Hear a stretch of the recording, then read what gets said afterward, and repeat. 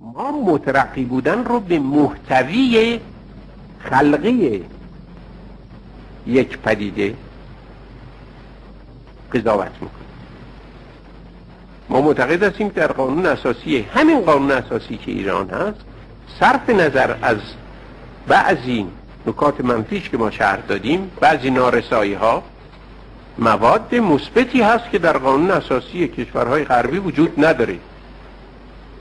در مورد حق کار در مورد از بین بردن استثمار در مورد محدود کردن سرمایداری در مورد این بخش دولتی و بخش خصوصی در مورد بیمه برای تمام جامعه برای تمام افراد جامعه برای آموزش مجانی بهداشت مجانی. اینها موادی که روش حالا میشه بنا کرد. اینا شاید امروز فردا نشه اجرا کرد ولی مواد بسیار مترقی هست اینا. به این جهت است که اگه ما قضاوت بکنیم در این زمینه می‌بینیم که هست ای از مواد اجتماعی این قانون اساسی هست که در بسیاری از قوانین مترقی کشورهای دیگر وجود نداره.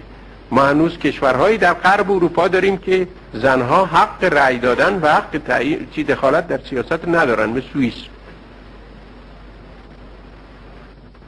درسته که در قانون ما حقوق زن و مرد مساوی نیست هنوز و بنز کافی سراحت نداره و باید تلاش کرد که درست بشه. ولی حق رأی از این لحاظ که حق رأی دارن زنها در تمام موازین و حق می‌تونن انتخاب بشن به همه جا از سوئیس مترقی تر.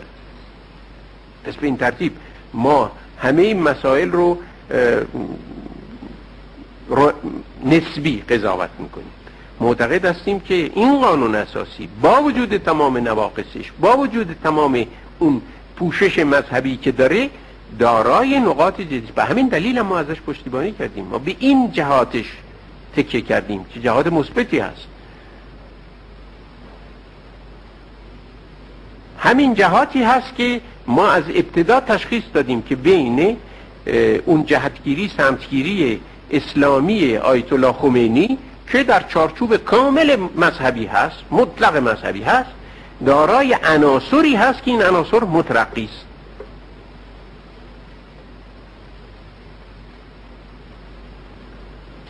این همون چیزی است که در ارزیابی های دوستان جهانی ما هم روش تکیه میشه. به همین جهت مترقی سیاست آیت خمینی. نه در زمینه مبارزه ضد امپریالیستی بلکه همچنین در مبارزه تغییرات بنیادی در جامعه ایران.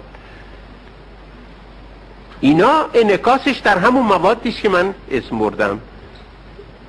به این جهت است که ما معتقد هستیم این واقعیت داره و اینو همینجوری نمیشه گرفت. مقایسه سطحی کردن با قضاوت هایی که فقط در اینجا مسئله ولایت فقیه هست و اختیارات ولایت فقیه هست که ما در این باره هم دیگه بحث کردیم.